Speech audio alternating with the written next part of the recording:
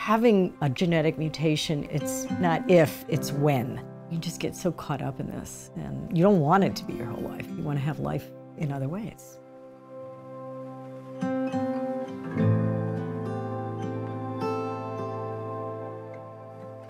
I have a very full life. I have a full-time job, I have four daughters, I have a new grandson, I play tennis, I do yoga, I have Joe in my life. We do lots of fun things.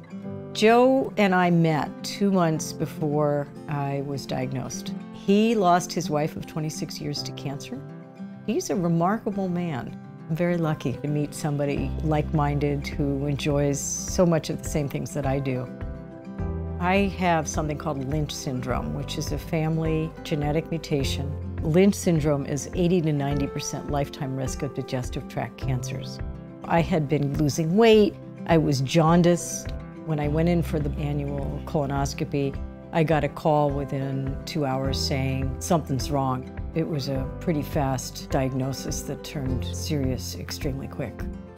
On February 26, 2013, I went into surgery, came to several hours later, and he said we couldn't do it because it spread.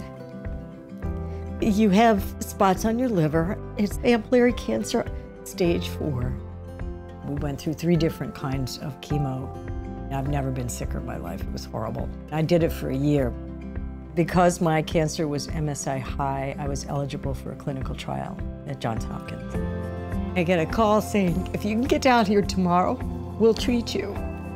In the clinical trial, I received pembrolizumab. I would go down every two weeks. I would take the train. I would go up. I would get the infusion. I would get back on the train.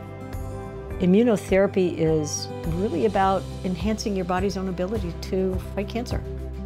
There was no side effects. I got all my hair back, no neuropathy. I felt great. I would have a biopsy three months following the first treatment. The surgeon who did it came over to me and said, if somebody hadn't told me you have ampullary cancer, I wouldn't have known. There's nothing there. It's gone. My last treatment was April 2016, and here I am, almost three years later, and I'm doing fine. I'm so glad I'm, I'm going to be around to watch my grandson grow up. I'm grateful that my daughters live close by. The Cancer Research Institute is the reason that cancer is being addressed with immunotherapy. And the research not only saved my life, but will potentially save members of my family. I'm alive.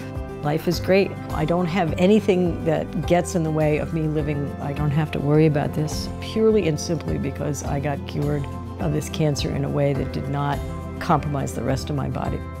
Immunotherapy is absolutely the way of the future and present.